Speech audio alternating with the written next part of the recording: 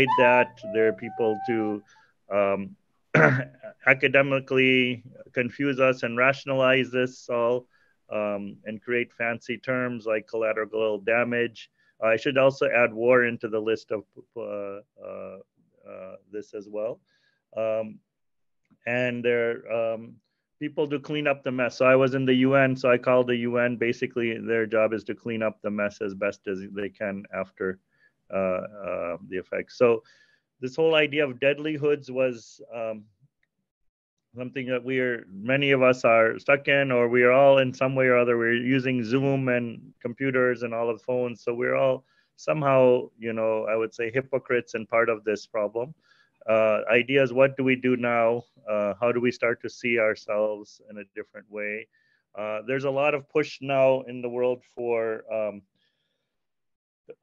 green jobs for sdgs um, for more and more tech-based solutions for for lots of things. And i think the idea of livelihoods is is to um, maybe offer a little bit uh, different framing of things to um, uh, hopefully uh, bring bring a little more clarity um, uh, for those who need it and bring a little more confusion for those who need it in their lives um, so if you can put up the slide, Atul. I'll just share a couple of um, uh, things about, about, a few things about when we say alivelihood. So the the thing is, you know, what's the the question? Simple way is what makes me come alive, my community come alive, and my ecosystems come alive. There's a lot of discussion these days started to emerge all over the world about regenerative, um, regenerative uh,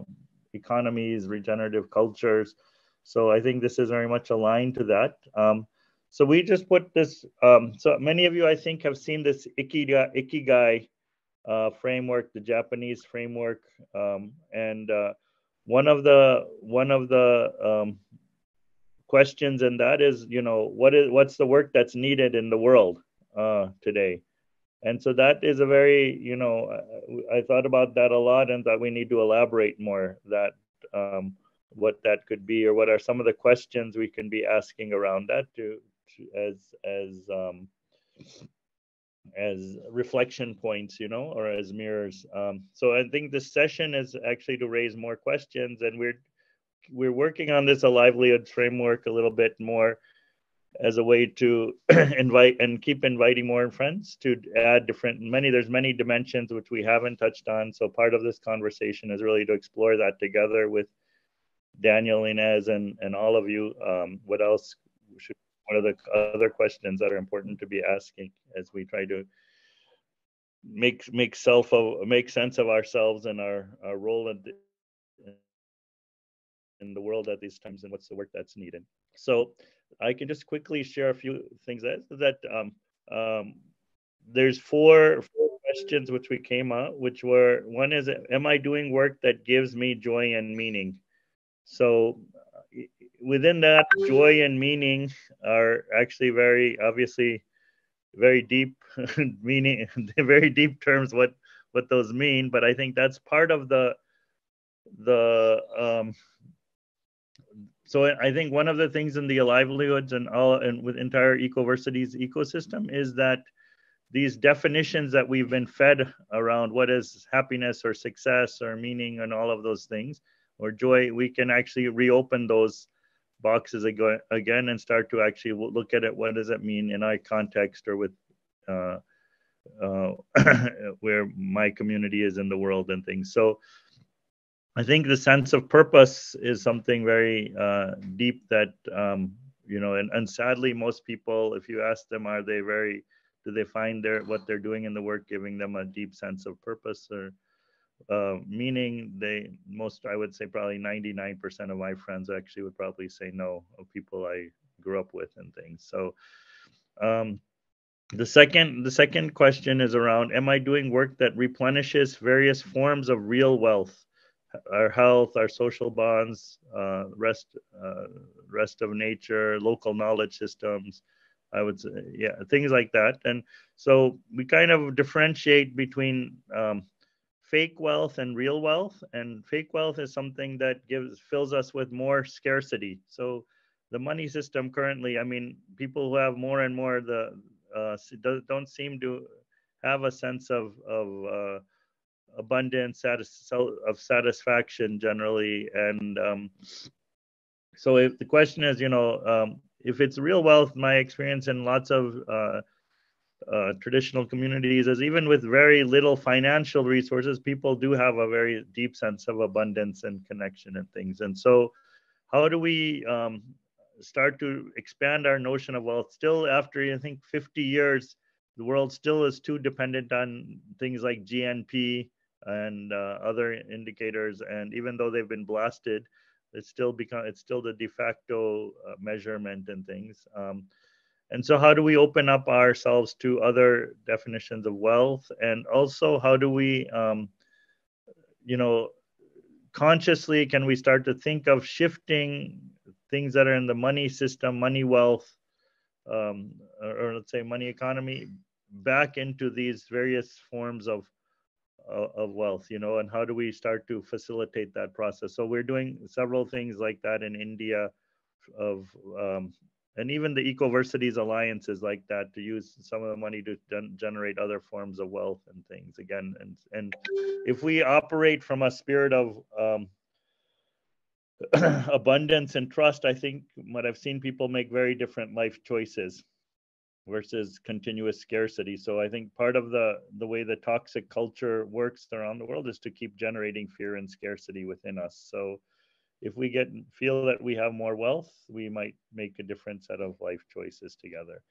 The third, the third um, question is: Am I doing work that is changing the rules and policies to benefit communities rather than corporations? So this is fairly straightforward. That we are subsidizing our demise, basically global subsidies, taxes, everything supports big corporations, and you know hides, uh, you know, the fact that we can get a plastic bag after its entire cycle for free uh, means it's been heavily subsidized on the way, or the fact that you know um, pesticide poisonous food is more is cheaper than organically grown healthy food. Again, is a is the idea that the subsidies that are in place and the the way that decisions are being made are not really in um, collective spaces, but more in, behind, you know, in, in boardrooms or in uh, in corporate boardrooms and things. And so, how do we shift this idea that you know, corporate, huge global corporations, 100 top global corporations or 500 have a huge amount of influence on the direction of the planet, um, and no accountability really for what they're doing. So, can we, mm-hmm. can we, um, can we support work that actually builds local uh, governance structures, local decision making, um, uh, and puts hands back, uh, puts power back into the hands of people and communities.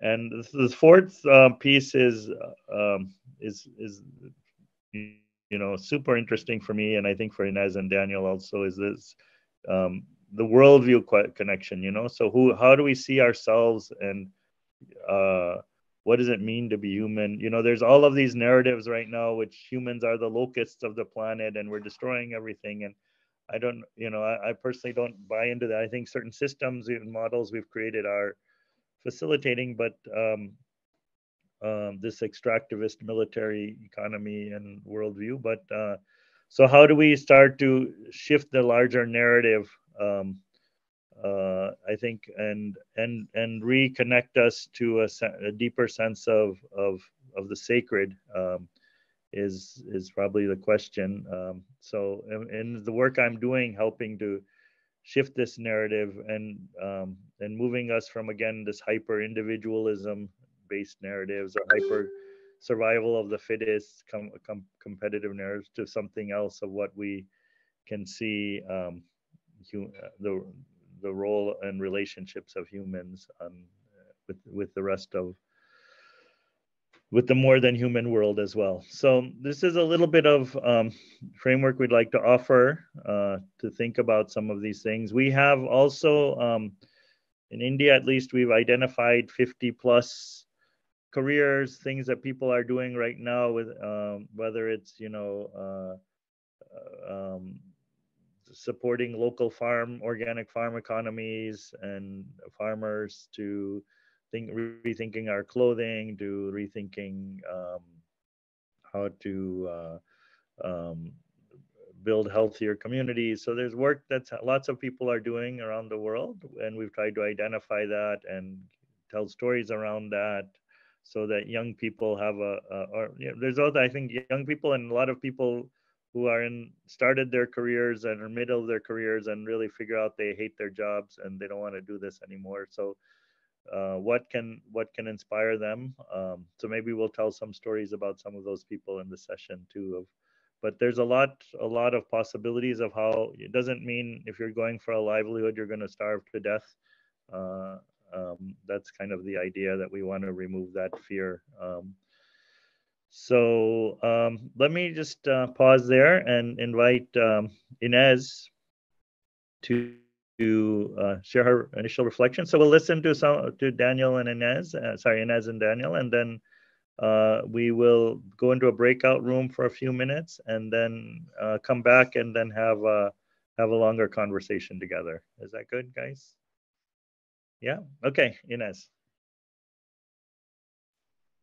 Great. Could we um, just close the screen share for a moment? Thank you. so, hi everyone. Uh, my name's Inez Aponte. Um, I've been doing this work for the last 15, 14, 15 years. And I kind of came to this because I um, had this big question when I first found out about climate change um, which is 17 years ago, I couldn't work out why it was that we weren't all alarmed enough to spring into action. And at the time, I had a, a one year old child. I was very, very concerned. And I kept going around the houses because a lot of people I knew also knew about climate change, and they also were not really springing into action. Everything just seemed to be business as usual. And it got me on this journey of trying to understand what was actually going on. And the conclusion I came to was that if you're living in an economic system that, and the only way you can meet your needs is by destroying the planet, you will destroy the planet. So um, I have been working with communities to what I call help them activate their radical collective imaginations to think of other ways for us to meet our needs and to really to tap into what is fundamentally human um, which I think is getting more and more eroded as we as we go along. So the question I asked you was really just to awaken that sense of like, well, what is it you love? What is it that you can do? And in, in a lot of ways, the things that we love and we can do meet other people's needs. So I'm going to just give you a, um, a shortish uh, presentation. Um, uh, I am much more someone who likes to be in dialogue, but I think it would be good just to, to run you through a few concepts that I work with and then hopefully, you know, I can hear back from you what, what you think and how this resonates. So I'm going to screen share now.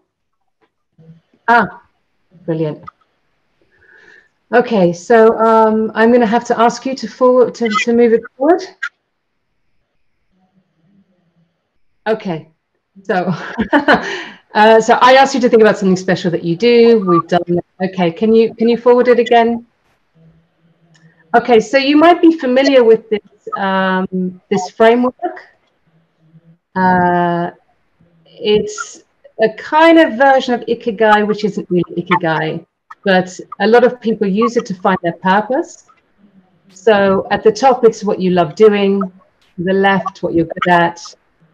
To the right, what the world needs, and at the bottom, what you can be paid for. And I would just like to go through some of those um, with you, just just to uh, help you. So, um, yeah, if we can go to the next slide.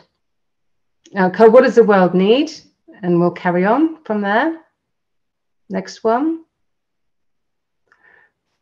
Okay, so this is the very basic. I'll go with through uh, barefoot economics with you. So the next slide, please.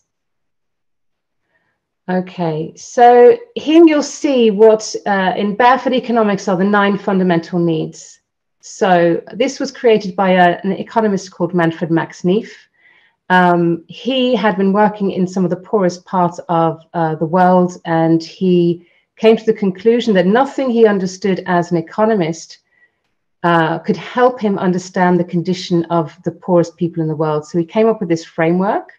And these are the nine fundamental needs um, him and his colleagues um, found were universal. So all of us have these needs. What differs is, are the ways that we meet those needs. So we all need to nurture our bodies. We all have a need for subsistence. We all need to feel loved and appreciated. We need, a, we need affection. We all need to have opportunities to rest and relax. We all need to have freedom, to have choice and autonomy. We all need to have understanding to make sense of the world. We all need to have opportunities to create and express ourselves. Um, we all need to feel safe and secure.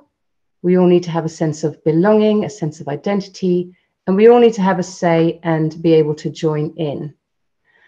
So, um, just bear this in mind as we go through the presentation. I'm going to keep coming back to those. So, uh, can we go to the next slide, please? So, needs are the same for all of us, but next slide. What differs are the ways we try to meet them, and in barefoot economics, are called satisfiers. So can we have the next slide? So here we go. Here is an example of a satisfier for the need for subsistence, which is here up in the, on the left, which I've highlighted. On the left, there's someone eating a meal on her own. On the right, there is a family eating together. So um, when we talk about the economy and we talk about, oh, we all need food, what we often miss out is that there's different ways of, of eating food. There's different uh, types of food we can eat, and all of those different ways of eating have an impact on that framework. So in this case, eating on your own meets your need for subsistence. You've got a meal.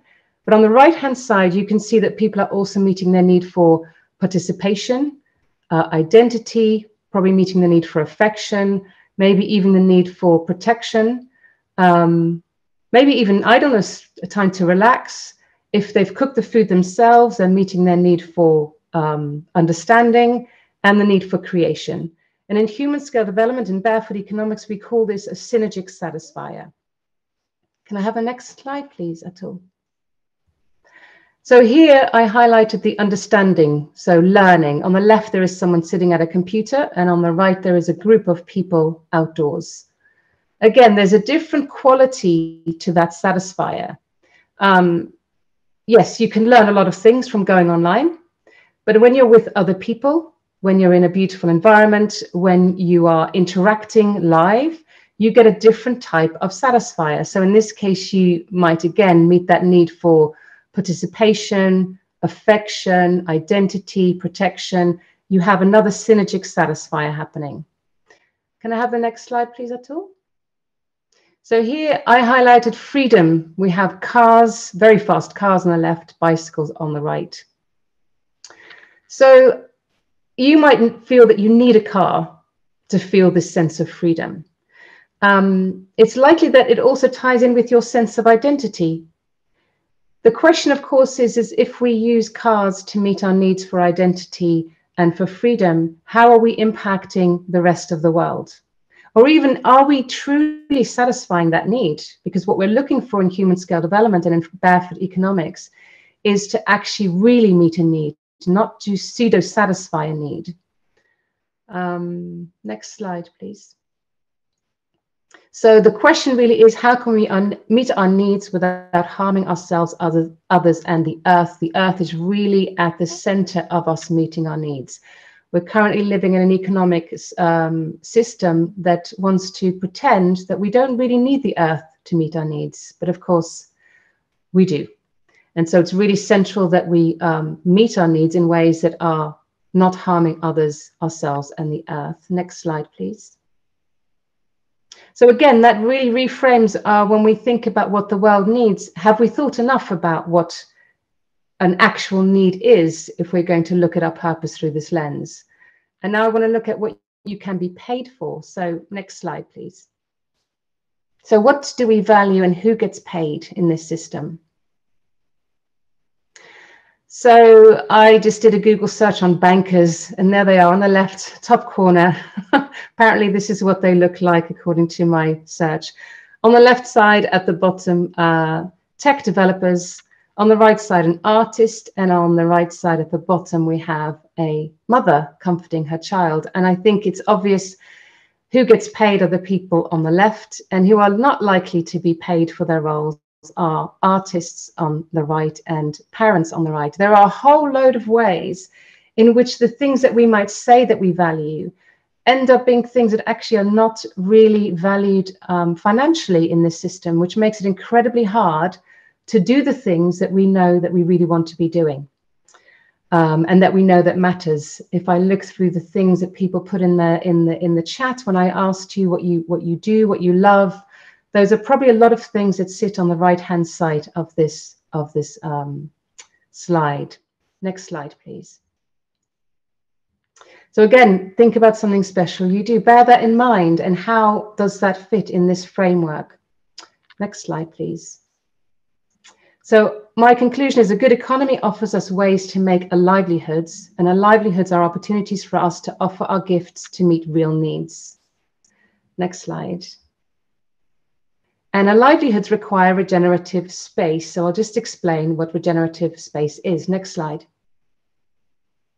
So it's a space required for humans to adequately meet their needs in harmony with other life forms while restoring the Earth's life supporting capacity.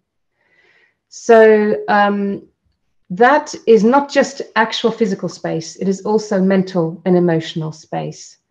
And at the moment, there is something happening to both our physical and our mental and emotional space, which is um, something that we need to be aware of.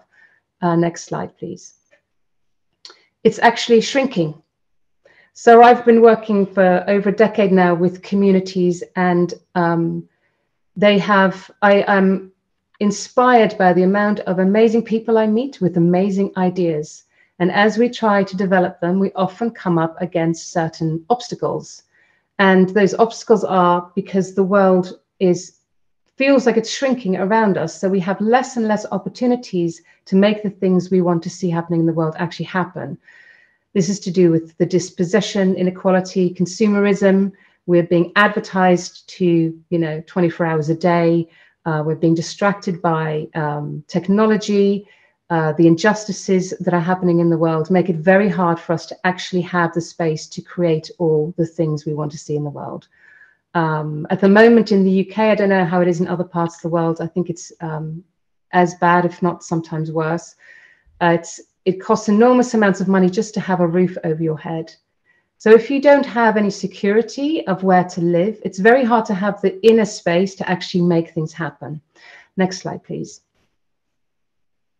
So how do we expand our regenerative space? And I have three suggestions for that. Next slide.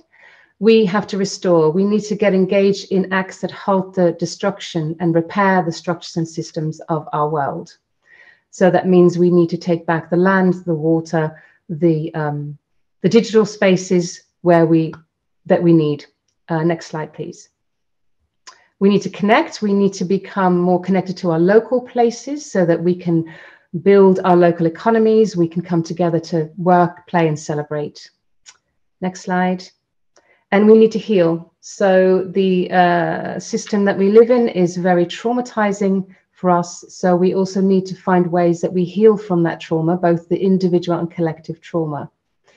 Um, next slide. And so they fit together in this way. Uh, rather than seeing them as separate, quite often when I talk to people about activism, they think about the restore function of this triad. They think, oh, it's getting on the barricades. But actually, it's as much building the local economy and healing that is part of these three nodes and of this triad. And the way they work together is that unless we have restored the actual spaces to ourselves, we cannot grow an economy. Unless we heal enough, we are not uh, resourced enough to be fighting the fight or to be growing the economy. Unless we have actual physical spaces, we don't have anywhere to heal. So there's a kind of dynamic between the three. Uh, next slide.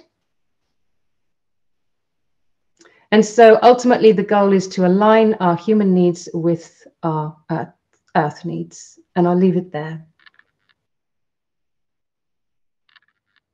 Thank you, Inez. Wonderful. Uh, I think when you were talking about regenerative space, so I think that this is when we um, reflect a bit on what the role of ecoversities are also in the world is to help to you know host co-create these regenerative spaces in our lives. So that was uh, very, very important um, uh, for me. Um, so next, I'll invite um, uh, our friend Daniel. Um, I, I told you about his past career as belly dancer, but these days he's really with the land and farming and doing really a wonderful work to uh, regenerate his own local place. So over to you, Daniel.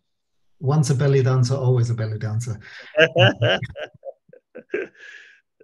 no, um, so an urban legend, Daniel. This is going to become an urban legend.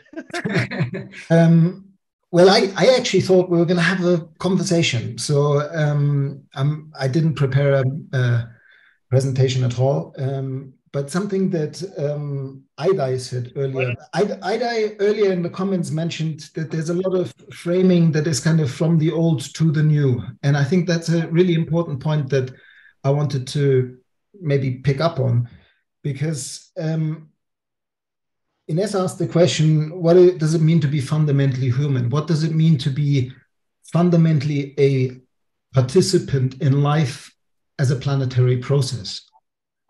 Um, if we really re-educate ourselves to understand who we actually are, which is expressions of life coming out of this dynamic nested complexity that we also are. So, this whole notion of how we are related to each other, that we're separate individuals, separate species fighting against each other, and all of that is just one narrative that makes the world show up to us in a certain way. The other narrative is that life itself is a fundamentally regenerative process. And for 3.8 billion years, life has done what it does best, which is create conditions conducive to life, for more life to flourish. And when I say life, I also mean us. We're not separate from that life. And so, how do we come back as a species to that livelihood, a livelihood of really understanding ourselves as what we have been for probably 300 and 90,000 years in this form as Homo sapiens, which is bioregional custodians of the ecosystems that brought us forth, who understood that they didn't own the land, but that they were expressions of the land, and that the only way that we could heal is by healing the larger context from which we emerge and that's a fundamental shift about like the, the thing that Inez brought up with the sort of tiny little space where our purpose is. I think we need all of those dimensions somehow to integrate and overlap. Um, not find that tiny little space because we literally need to re-story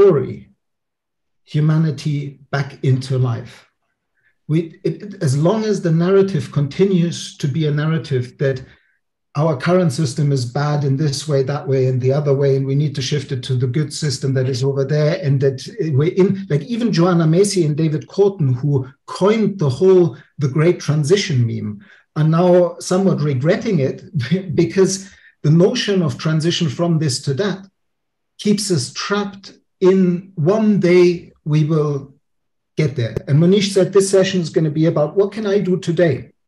And I think what we can all do today is to flip our mental switch back into appreciating that we all are regenerators naturally. We, the cells that are in your body, the organs that are in your body weren't the same um, six months ago. You've fundamentally regenerated most of who you think you are, including the diverse living ecosystem that is in your gut and in your mouth that isn't an individual but a walking ecosystem.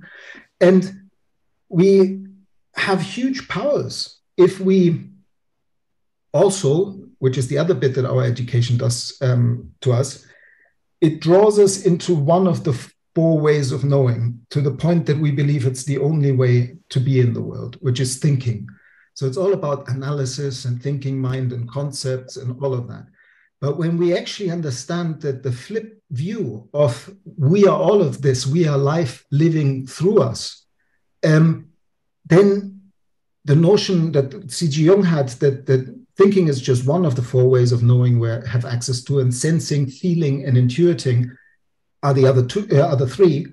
Then sensing, feeling, and intuiting is actually what we need to meet uncertainty in this nested complexity we live in. We need to respond to a world that we will never know perfectly. There is no education that will give us a perfect knowledge of the world.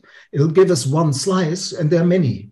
So, what we even science tells us that complex dynamic systems are fundamental, unpredictable, and uncontrollable. So, how do we shift to appropriate participation rather than prediction and control through dancing with the system through sensing, feeling, and intuiting the system and being informed by the mind. No both and here, no from this to that, but a true integration. And the last thing I want to do, because Manish asked me to um, just quickly share one slide, this one. Um, a lot of people are stuck in this narrative at the moment, partially with, um, fueled by the very good work of the wonderful people in the, the U Lab, Otto Scharmer and so on, that we're at this big shift from ego to eco.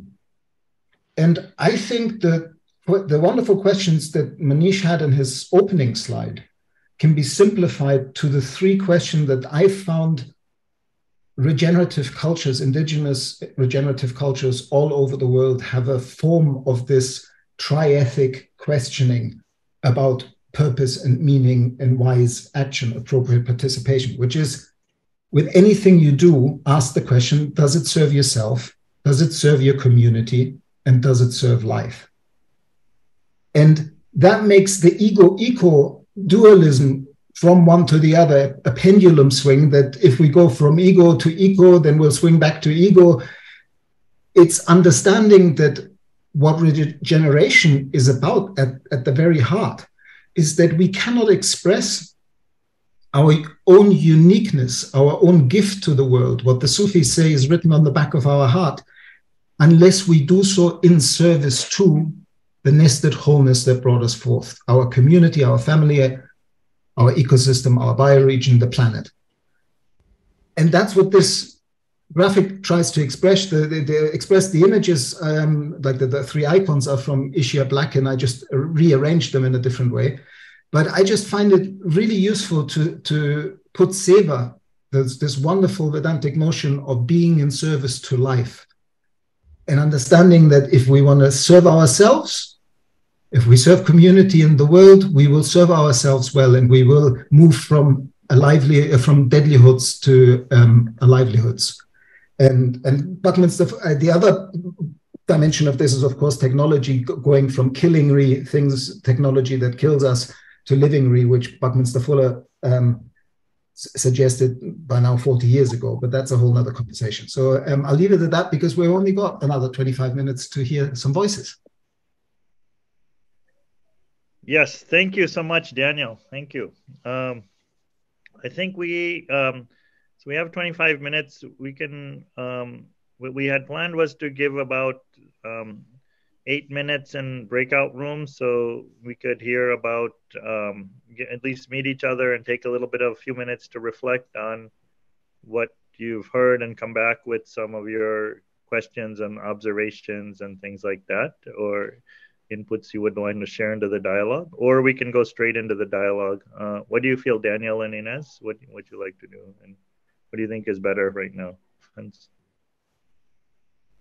Oh, God, I hadn't thought about that.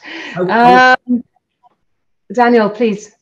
I just would love to hear who else is in the room but if they've been listening to us very patiently. Okay, so let's yeah. let's do this then. Let's take um, one minute, or let's take two minutes of silence so people can digest all of this, and uh, and then we will we will uh, ask everyone's. I'll ask everyone's apology that we're not going into breakout rooms, and then we can kind of uh, start listening to what people's um, reflections or takes are. Is that okay for everyone? If there's any big objection, please let me know and I'll make your own personal breakout room for you if you want it. Um, otherwise, we'll we'll just because of the time. I'm sorry about that. Yeah. So okay, let's take a minute of uh, two minutes of silence. Just invite everyone to close their eyes, feel their feet on the ground. Um, Take a few deep breaths. We shared a lot, so think, be with it, uh, but and, and observe what's coming up for you.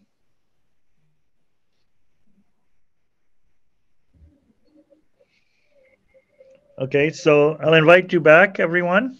Um, so one thing I, I feel that is very important um, in all of this work, and I, keep reminding myself and all dear friends, is a bit of playfulness. Um, and uh, that very much for me is a, a, source of a livelihood also is when we bring playfulness and things so i'll just invite you all to come back in with a giant laugh together if we can laugh all once a crazy wild laugh as loud as you can Let's all give one laugh. that's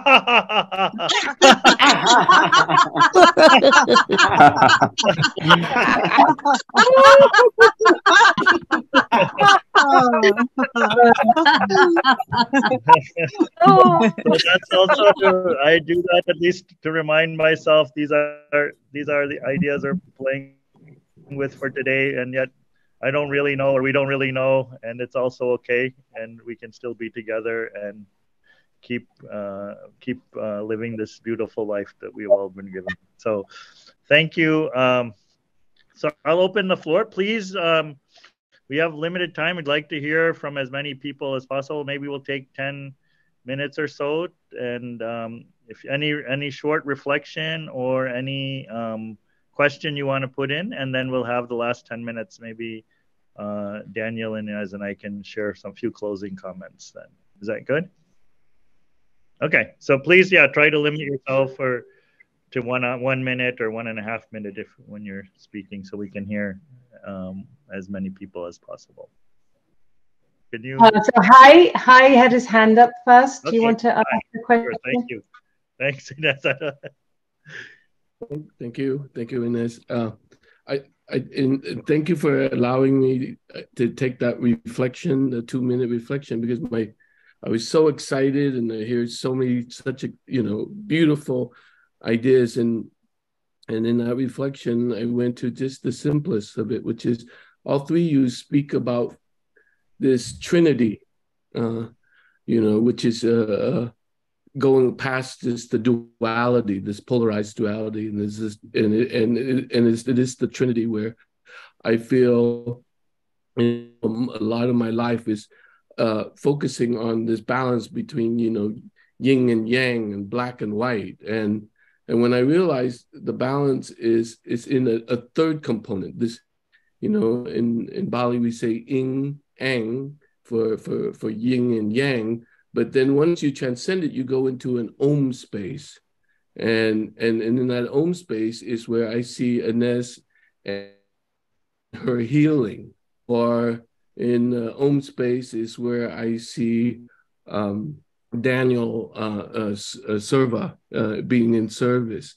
So I think you know I think they're all that all three is necessary, and some people will will come from the ego. Like my brother, he comes from the ego, and he makes lots of money, and he lives that lifestyle, and he, and, and you know you uh, and and he's and he can serve, he can help us in in that service, in that offering, he can uh, help the the the the seva and the and uh, the the the eco. And so that's that's my input. I, I really thank you for giving us these framework and this this trinity of understanding. So now we know where we can come from and and be able to collaborate together more seamlessly. Thank you. Thank you. Hi. I think it was uh was it Catherine next? Hi, um, I can't I can't get my video up. Sorry. Um, okay. But I just wanted to say that when I was reflecting, and I was reflecting, Daniel, on what you said, um, on I, I, think that is the crux of the whole thing to understand who we are as humans, um, and not even who we become, but to go back to who we are, and uh, and I just think we need to do that in the earliest ages in schools and all of us have some connection to schools. We have connections to either teachers or we're parents or we're something. And, and I think if we can start with the youngest children to begin to understand that who we are in connection to the biosphere.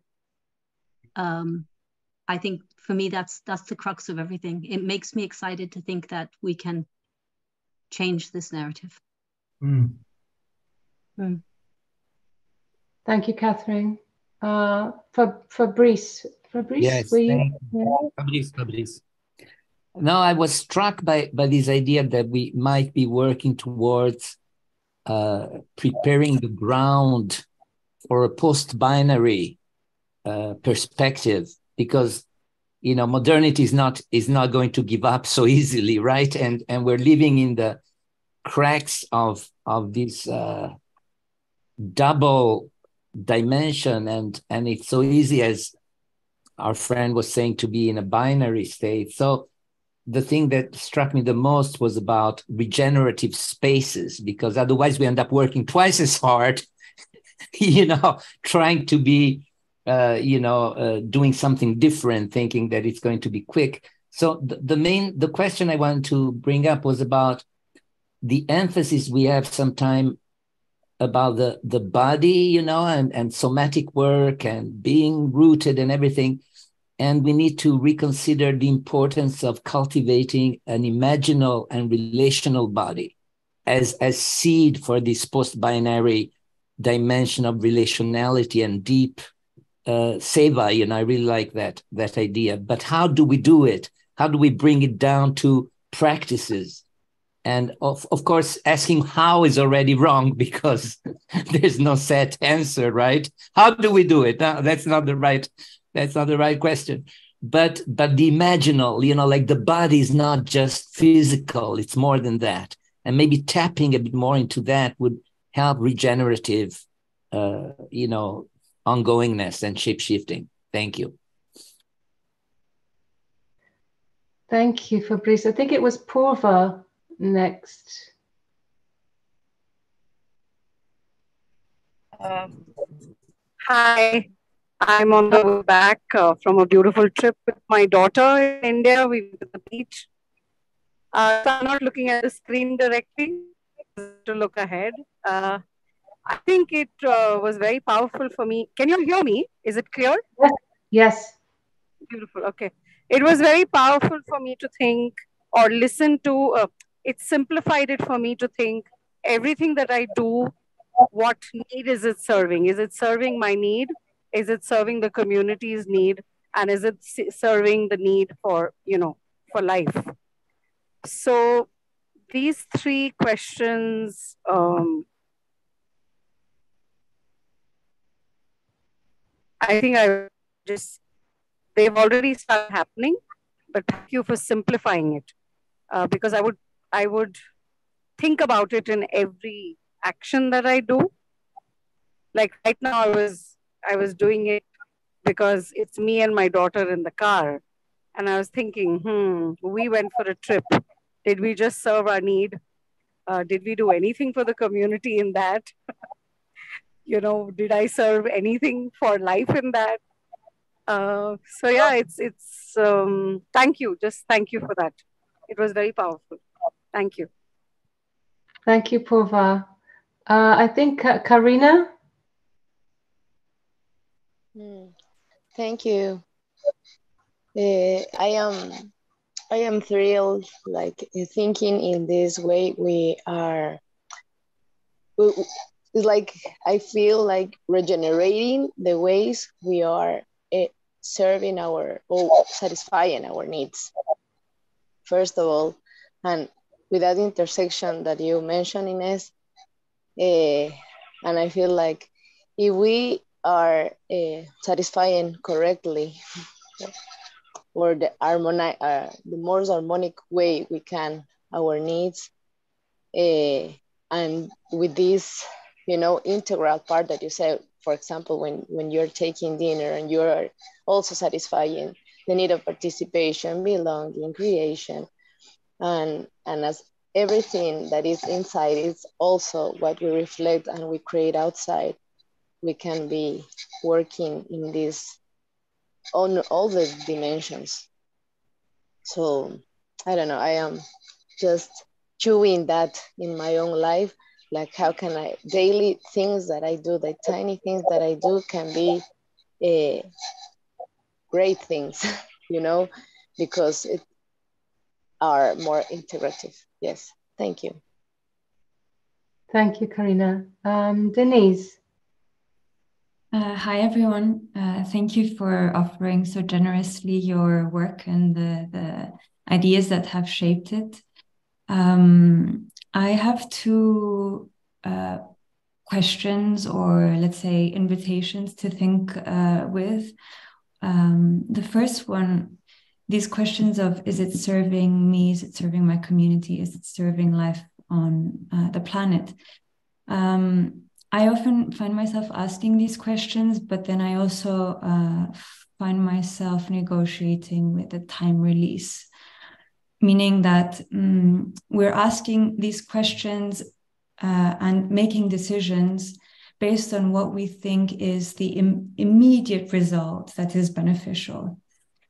Um, so I'm just introducing here the time release aspect of thinking about what I think is serving me today or tomorrow or my community might not uh, the day after.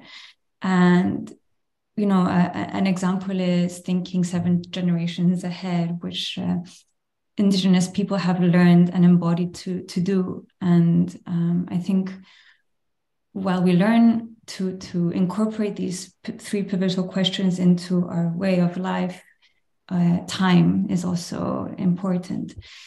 And the second thing um, about this um, binary of, uh, between uh, livelihoods and deadlihoods is that uh, I feel like one of the things we need also to learn to do, maybe at least that I need to, would like to learn how to do, is to um, stay with the death of a world that we are living in and learning to uh, let it lay to rest um, to make space for regenerative uh, learning, regenerative spaces, because it's. Um, mm, mm, I think mourning is important. It's a, it's an, it's an important phase uh, before you re- regenerate. Um, so I think that looking away from the um, decay, uh, looking away from the death, um, is also a diversion that is can be detrimental to the longevity of what we're trying to regenerate. Thank you, Denise. Thank you. Um, uh, Olga? Okay. Hello. I uh, really was touched by um, several points made uh, today, and one of them is uh, healing I think that um, it's connected to another point that touched me that being human. I think that um, uh, I agree with Fabrice that the how is less important than to get connected to your humanity and this intention to to heal, and then the house will kind of show up. Uh, the the most relevant uh, hows will uh, reveal themselves. So for me, um, in the tough situations when I'm most confused and challenged and scared, uh, I go back to feeling my dignity as a human being and set intention that um, uh, that are my values and this is what um, I would like to bring out and uh, you know stand with and also help others you know support them to, to give myself and the others courage to stay human in their you know craziest situations that life uh, is full of right? So for me um, healing traumas are connected to you know healing something bigger in our communities and the earth. So um, i usually remind myself to start with myself and but then i want to see um, kind of outwards when uh, i have enough self-empathy how to offer it um, forward. And um, i really enjoy these um, concepts these points and um, I, I, feel that uh, everything that i heard tonight really is woven together very nicely in, in these concepts of um, being human and um, helping the healing. So that's what I wanted to share. Thank you, Olga. Uh, Manish, do you want to? Yes, so I'll invite maybe um, Daniel, do you want to respond?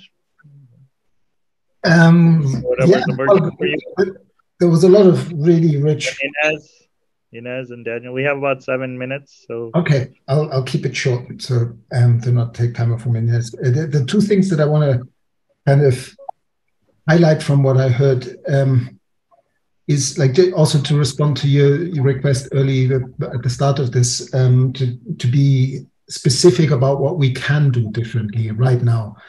And I think it's that invitation that we stop talking about something we need to do in the future and we start anchoring ourselves back into life because we are life.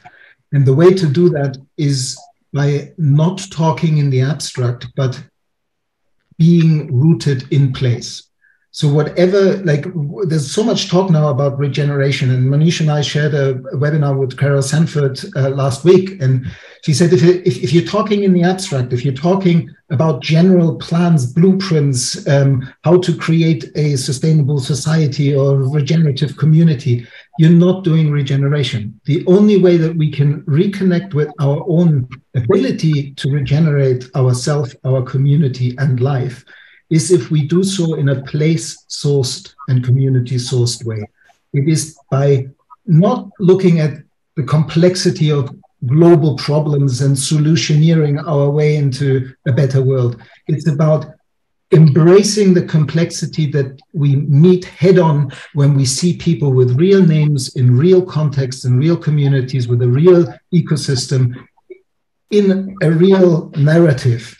And we embrace that. And we don't say oh we're also imperfect and now we have to start building a regenerative culture. No we foreground in these real community that regeneration is already going on and then the other thing i just wanted to highlight is, is um, denise said two really important things about the whole approach of working on solutions only gets us into the pattern that we've had as humanity for a long time that yesterday's solutions become today's problems. So how could our also regenerative solutions be forever?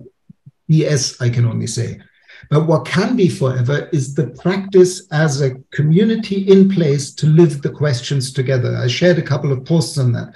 For me, we have it wrong by looking for answers in education. The best thing education can ever do is to enable people to have a community place sourced process of inquiry into what it means to be humans and how we can serve self, community, and world. And um, in that context, last a bit, we do have to embrace death and collapse as part of regeneration. We have left it so long. We've known about climate change for 50 years and have done jack shit. And we've we started talking about it a little bit more, but we haven't really we've we made it worse ever since. And in that sense, we are now committed by a small proportion of humanity, all of humanity is now committed to living through very tumultuous decades. And that means we need to heal our relationship to collapse and letting go and death. We will see a lot of structures that we're currently still needing to feel safe and comfortable fall away in the next three decades. And in community, in a place focused way, doing what we can in a particular place, we might be able to weather those storms and we might actually rediscover ourselves as regenerative beings. And it, the change is not a change in doing, the change is a change in being first and foremost, and then everything else flips. Um, that's me. Thank you, Daniel. Uh, so, um, yes, I agree with everything you say. Just quickly, I noticed someone said in the in well, pe- people were talking. Oh, I'm fed up with these conversations. What can I actually do? What jobs can I do? And I think I just want to bring the perspective of having. I am uh, the child of immigrants from the colonies. Um, a lot of people are not in this space of understanding what's going on. And I think, uh, as those of us who understand what needs to happen, we need to reach out to those people who are really struggling. This is why I talk about regenerative space. You cannot tell a mum with four children on a low income in a, in a flat, oh, think about the environment. No. You need to make sure that people are okay before people can join your your project. And we miss that every time we are missing the, the opportunity to go into what's happening to people around austerity. Because when people understand that what's happening to the earth is happening to people, they can align but if you if we start allowing the narrative on the right to be, oh, it's uh, you know, watch those green people, they want to take your freedoms away. Unless we get in there and we start to direct that conversation, we just are at risk of, of people becoming radical. And it's incredibly dangerous times right now. So I'd encourage you to think about how those systems are keeping people in place, and particularly the poorest, um, and not just the poorest in the poor parts of the world. In the UK, we have an incredible um, uh, um, inequality happening right now. And the other thing to say about that is that uh, if you're thinking about, okay, what job can I do? At the moment, unless we change the system of money and how we reward people for what they do, if you even if you get end up with, with, a job that wins, the system doesn't allow everyone to win, and that's why the human scale development framework, when we start to look at where is the value, then we have to look at where is all the unpaid labor happening. Most of the work in the world happens, it's, it's women and, and, and young girls that are doing most of the labor in the world, unpaid. And these are the kind of political issues that really we need to grapple with. So, you know, that all of us, the artists, the mothers, the fathers, the musicians, we should all be able to live in the world and be able to express those beautiful things you just shared with me. This is what gets me to be alive. This is what I can offer in the world. We need to fight for that. It's not going to get given to us. And there is a very strong political movement that we need to do, as well as building and as well as healing. But I think we mustn't ignore that there is, uh, you know, a big struggle um, for us ahead. Um, and if we can get the poorest of the poor on board, then we are the 99% in a true sense. And uh, thank you very much, everyone, for your attention. 15, just in time. um, yeah, I would uh, just, uh, I, I, wanted to share a few things, but I don't know if we have time, so it's okay. I'll let it go. But I just think that uh, the invitation is um, around um, hopefully unlearning and some of the concepts that we've held that that I would say modernity has held as sacred cows, whether it's scale or mobility or even individualism or many of the things that we've tried you know this modern culture has been built on um, i think there's um, an invitation to maybe we, uh, look at things at a different way. For example like for us one of the operating systems is to start looking at how do we form new forms of joint family rather than this individual nuclear family as a model. It's almost impossible for a family even with both parents working full time to make ends meet and things like that. And so how can we start to reorganize ourselves our daily living patterns um, uh, and and invite maybe and that means then you know my, the, in india i see even this with urban people like our sense of personal space and everything and ownership and all of these things come into question. But i think these are the the everyday lived things that we can start to explore differently in terms of uh, if we think we're going to continue with the same mindsets um, and just build some regenerative culture i don't think it's going to happen there's there's some fundamental shifts in the way we just even organized our daily lives that we can start to think about and so i just offer that as a as a um, uh, reflection. And we're trying to do a bunch of that in, in Udaipur where I live, and we'd invite people over to come and experience it with us. Thank you so much. Um, oh, let me just share this too. So this thread, this is a good way to close. Uh, so this thread, we have a we have a festival every year called Raksha Bandhan, Rakhi for short, and this is the sacred thread of life and care and compassion. And you can tie this thread. There's a saying in India, Vasudhaiva Kutumbakam, the whole world is our family. And so it's very interesting. This thread, this thread, you can tie it on anyone. And it's not like that. It can be any any hum, other human, or it can be your tree, or it can be your uh, animals, um, or it can be even your your you know your um, your books or whatever.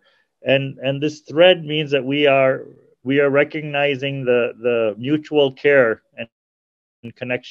And you can declare that that being as your brother or sister uh, or or honor the sacred relationship with you with so this is an invitation that you know we're not alone. I think this is the most fundamental thing i think that this toxic culture wants to keep telling us is that we're alone in this.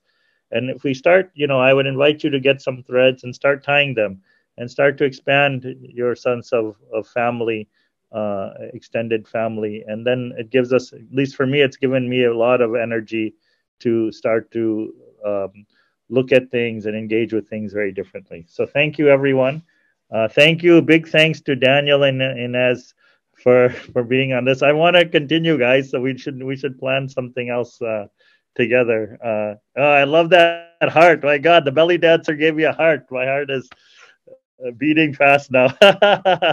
so uh, thank you so much, guys. Uh, and um, we invite you also um, to to keep being in this dialogue with us in ecoversities. It's really uh, it's they are really deep conversations and conversations that are in the everyday doing, as Daniel said, place based and body using our bodies and our relationships, engaging with those very deeply. I think that's how we we all. I would speak on behalf of Inez and Daniel here that we all see that as being very essential to building a new paradigm. So thank you all. Take care wherever you are. Be be Thank safe. you. Thank you. Bye bye. Thank you. Thank Bye-bye. you. Thank, Thank you, you. everyone. Thank you so much.